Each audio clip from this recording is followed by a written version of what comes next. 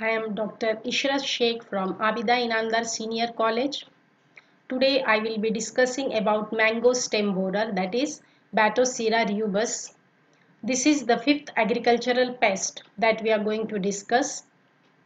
We will be discussing marks of identification, life cycle, nature of damage and control measures of mango stem borer. Introduction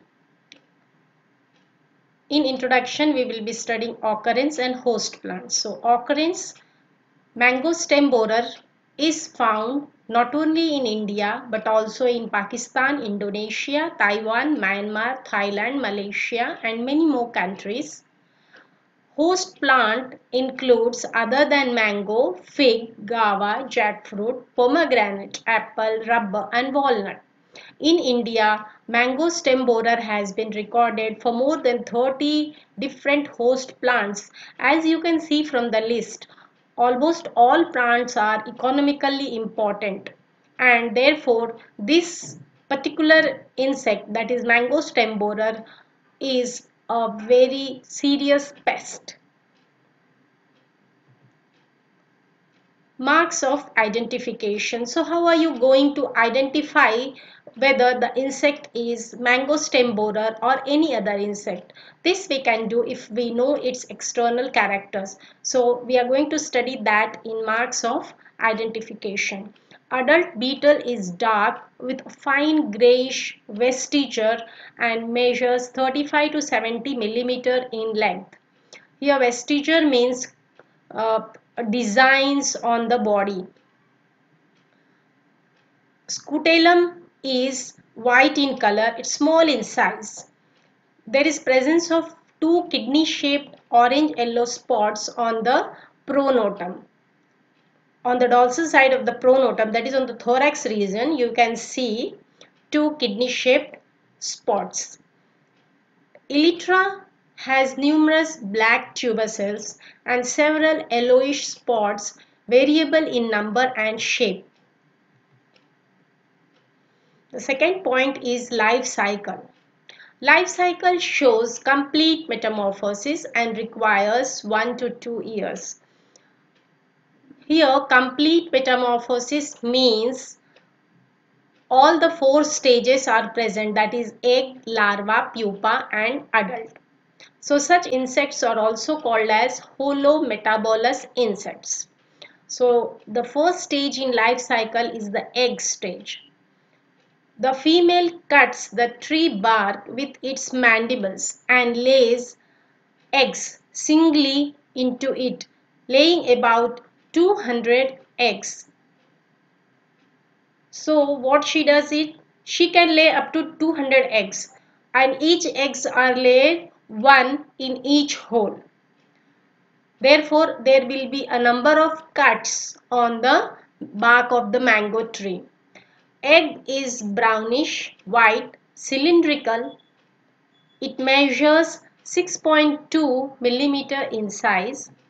Larva hatches in 14 to 17 days after the embryonic development inside the egg. Larva is apodous, yellow with blackish head measuring 10 millimeter in length. So here apodous means legless. Poda means legs or appendages. So here appendages or legs are absent. Hence the larvae is apodous. Newly hatched larvae makes a tunnel into the sapwood of the trunk, branches or roots. So as soon as the larvae hatches out of the egg, it, it starts making tunnel inside. So from the bark, it starts moving inside into the sapwood of the trunk, branches and roots and start feeding on the internal tissue. The tunnels that it makes measure up to 2 to 3 centimeter in width and is very damaging to the tree. Larval development takes about 3 to 6 months. So for 3 to 6 months the larvae will keep on feeding on the internal tissues and this will make the branches or the stem hollow.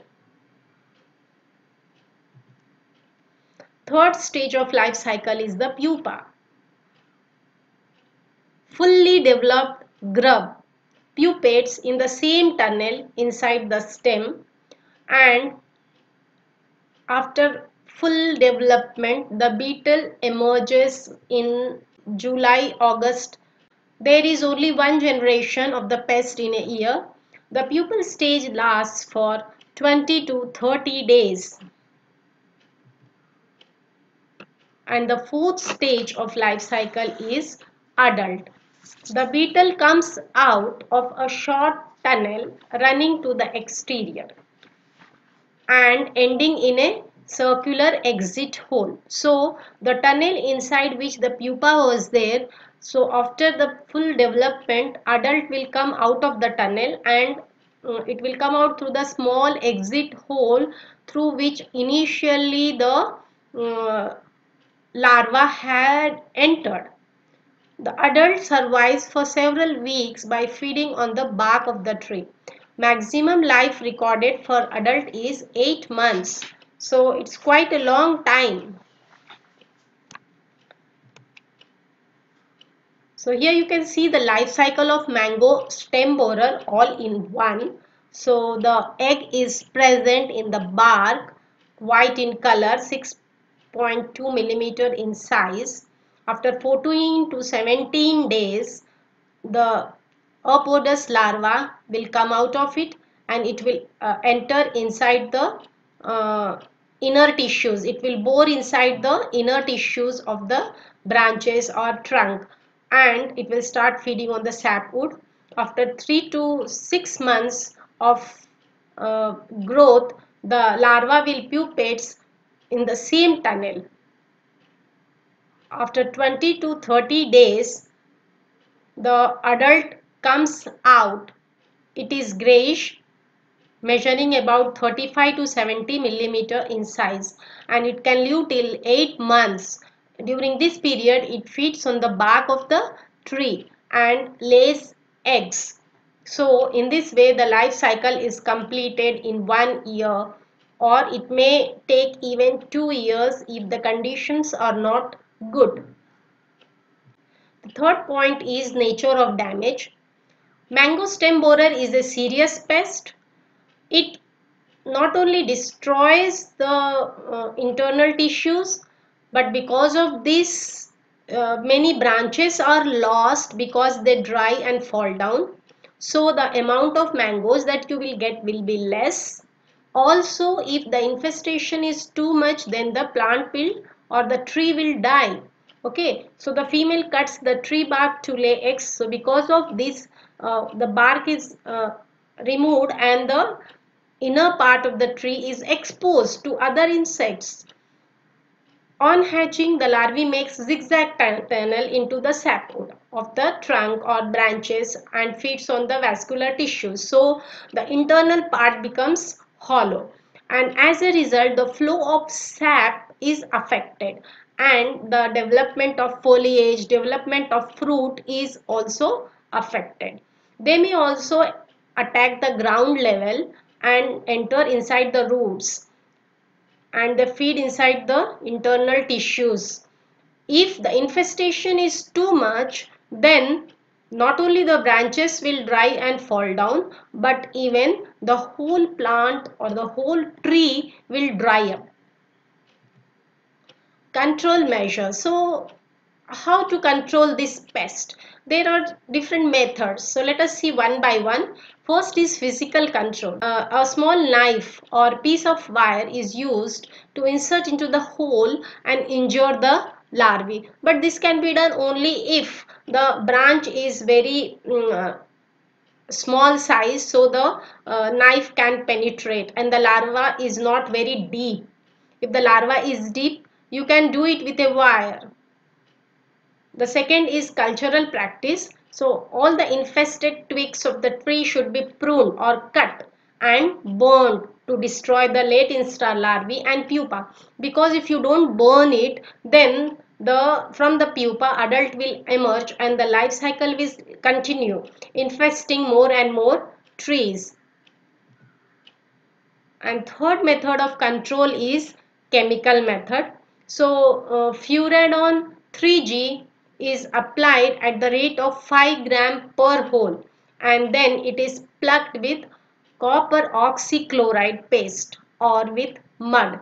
Holes are also closed using cotton plugs dipped in chloroform or kerosene. So plugging of hole is very important because once you apply the chemical inside the larvae will try to come out of the hole and uh, it will try to run away from the chemical. It will try to save itself. So we don't want that. Therefore plugging of the hole is very important.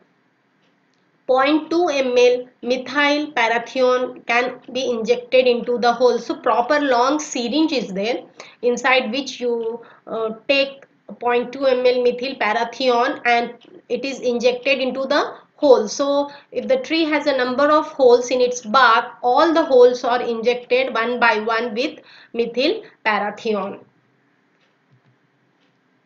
Few drops of carbon disulfide can also be injected into the holes and then the holes are plugged. So in each and every step remember to plug the holes. Aluminium phosphide tablets can be placed in the holes and again it can be plugged off because aluminium phosphide gives out very dangerous gas which can kill the larvae and the larvae will try to get out of the panel. If infestation is severe then application of copper oxychloride paste on the trunk of tree is useful. So in severe infestation, complete trunk of the tree only is covered with copper oxychloride pest. So here we end up with the serious pest that is mango stem borer.